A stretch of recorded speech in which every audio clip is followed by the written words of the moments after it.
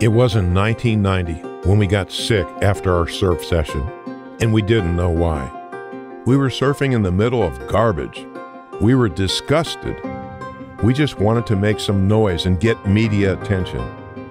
At the beginning, we were five or six, but we started to stir up people with our actions. Then, the first local chapters were created to fight against dredging projects, nuclear tests, and pollution. We're about to set up a real counterpower, a Keepers of the Coastal Network. But the real revolution was the Black Flag Project, when we published the first map of dirty beaches in 1997. What a heavy blow. For the first time, the government started to listen to us.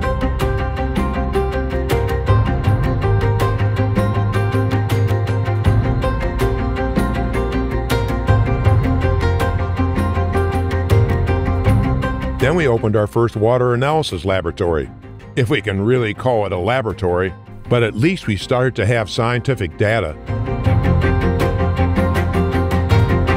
Ten years after our first actions, in the 2000s, the ocean initiatives evolved with educational tools and marine litter data.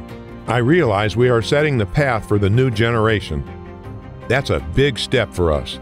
And above all, these doors that before we had to force, now the institutions themselves are opening them to us. 2000, 20 and 10, 20 and 20, decades go on, and we too, we become a reference in the field of ocean protection.